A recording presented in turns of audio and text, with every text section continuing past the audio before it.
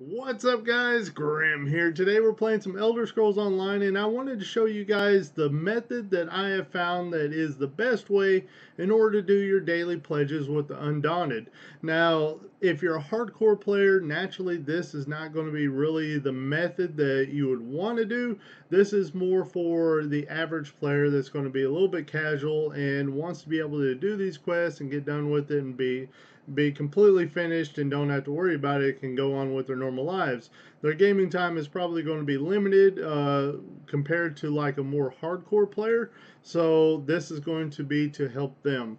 Uh, so whenever you pick up the Undaunted quest, you will be able to pick them up right here in, uh, what is it, Eldenroot, I believe it's called.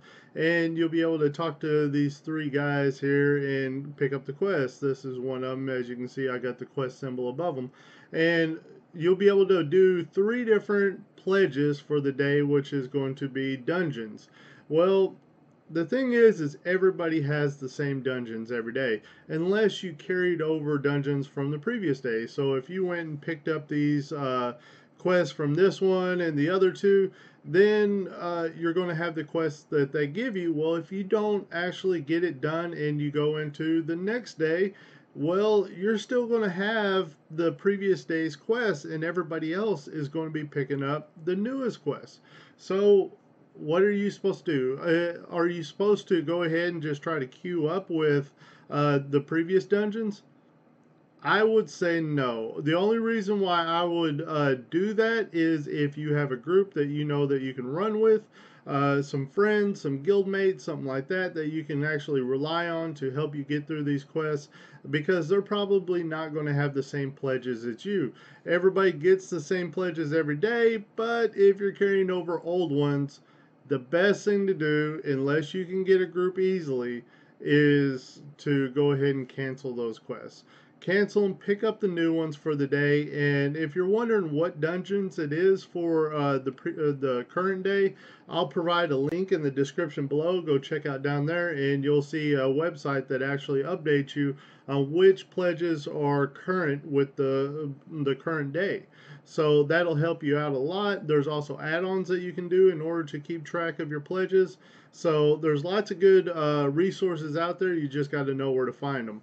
All right, so like I said, if you cannot get an easy group, as in some friends, some guild mates or something to help you finish the previous day's quests, if you're carrying them over, then it's best to just cancel them and get the get the current quest. Um, if you're a hardcore player and you're able to get good groups, then go ahead and do it. If you got a great guild that always helps you out, go ahead and just pick them up and they'll probably run you through the dungeons that you need to do anyway.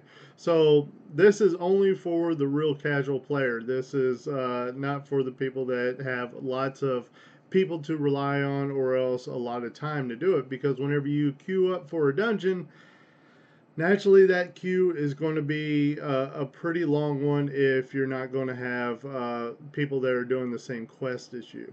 All right, so another method that I have found to be uh, really efficient is the first dungeon that you queue up for the day, uh, do a random one. Do a random uh, dungeon, and that way, most likely, now this isn't 100%, most likely the dungeon that you're going to get is one of the three pledges for the day because like I said everybody that's doing the current uh, current uh, daily quests they're going to be doing the specific three uh, the three dungeons that everybody else has. So it's a very high percentage chance that that's going to be one of the dungeons uh, that you're going to get for your random. So that's a really good method for the the second and third dungeon that you need to do. Uh, you probably need to queue up specifically for them because there's a real good chance that you'll actually get the the dungeon that you already did. Uh, also, there is the chance that people are doing off dungeons. You know, people might have finished their quest and they may be getting just random dungeons altogether done, and you want to be able to get your pledges done.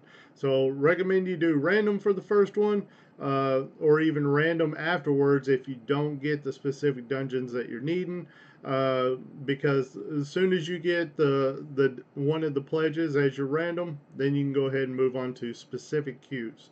All right, so that's the best methods I found to do it. At first, I was always struggling in order to do my pledges, because I would actually get pledges that were carried over from the previous day. I didn't even realize that everybody had the same pledges, so I didn't know that uh, canceling them and picking up the current ones was probably my best bet in order to get them done, especially as uh, a player that was playing uh, pretty casual. Um, like I said, if you got plenty of time, go ahead and queue up for uh, the previous day's ones if you actually missed out on doing them on the previous day. Alright, I hope you guys enjoyed this video. If you did, smash that like button. As usual, my name is Grim, and I'll see you next time.